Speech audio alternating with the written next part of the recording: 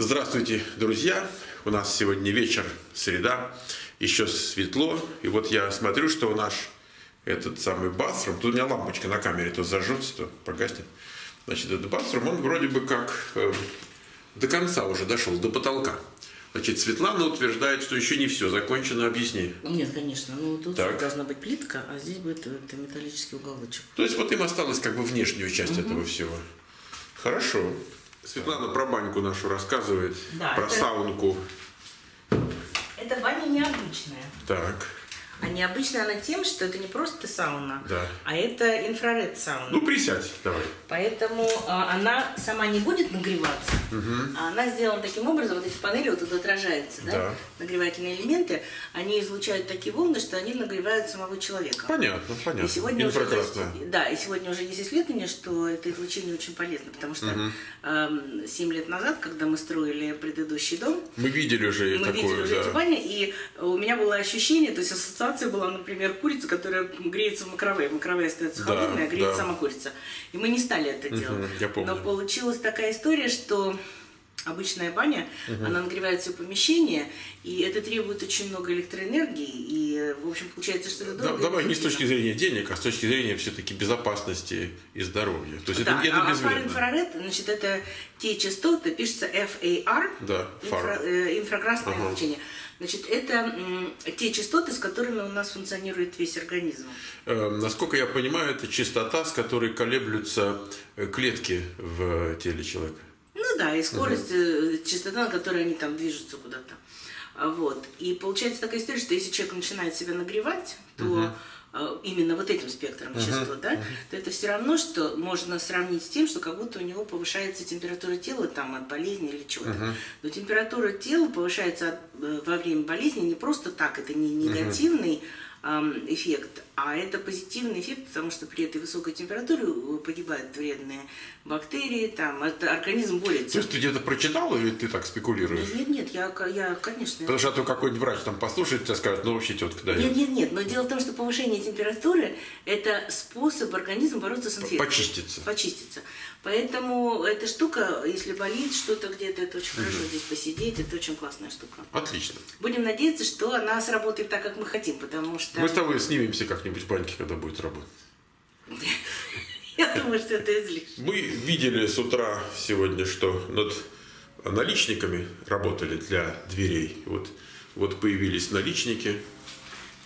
Мы видим, так, давайте я выйду а, туда, в более светлое помещение.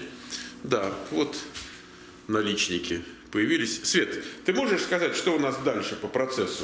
Да. Потому что у нас все очень так мелко. Ну, наличники, ну хорошо, наличники. Ну, в принципе, сейчас они все это закончат. и Что нужно- это-то что? Ну, да, вот, вот эти мелкие работы. А вот розеточки у тебя никогда-нибудь там закончатся? Ну, это финиш, это еще до этого далеко. Так. Ам, Значит, вот это все закончит, и будут собирать кабинеты. То есть э, ты имеешь в виду, что они будут собирать вот... Вот то, что там лежит. Потому что пока оно там лежит, мы не можем положить пол. э, Значит, у нас кабинеты будут стоять вот там, у дальней стены, да, и у меня за спиной, вот у этой стены тоже. Да. То есть у нас будет как бы много шкафчиков. Да. Значит, Хорошо. Будут собирать кабинеты, в частности, и в ванной комнате, потому что Да, а, конечно. отсутствие кабинета в ванной комнате мы не можем установить уже э, мойки, там, раковины и так далее. Да. Без этого. Значит, э, установят кабинеты, после этого сделают полы, Мгм. Ну, это быстро. Ну, Пол- оно, пол. все быстро, когда есть люди. Пол когда сидит один да. человек, так оно все медленно. А Вот, и, значит, сделают полы, кабинеты, ну и дальше уже все, финиш уже совсем. А, вот эту штуку надо еще делать. Да, у нас тут будет слайдинг door, то есть такая передвижная дверка. Красота еще, да. Очень красивая, да.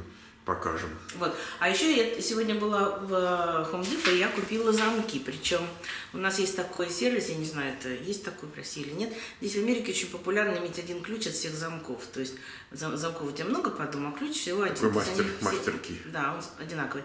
И в тот момент, когда покупаешь эти замки, а, там должен быть человек на месте, который ам, их всех как-то приведет к одинаковому ключу.